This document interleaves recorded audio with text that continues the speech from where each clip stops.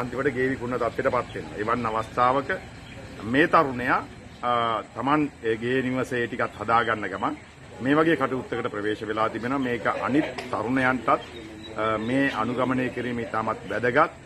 රජයේ රැකියාවකින් ලබනවට වැඩිය ආදායමක් ඔහු මේ කාර්ය තුලින් ලබන බව තමයි අපිට දැනගන්න තියෙන්නේ.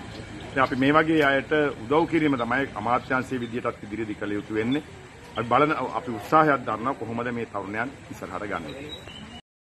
ඔබටත් 100ට 100ක් සාර්ථක ප්‍රතිඵල ලබා ගැනීමට පාරම්පරික වට්ටෝරු අණුව නිපදවන කාබනික දියර පොහොර කෘමි විකර්ශක ග්‍රෝ බෑග්ස් ලබා ගැනීමට පහත අංකය අමතන්න.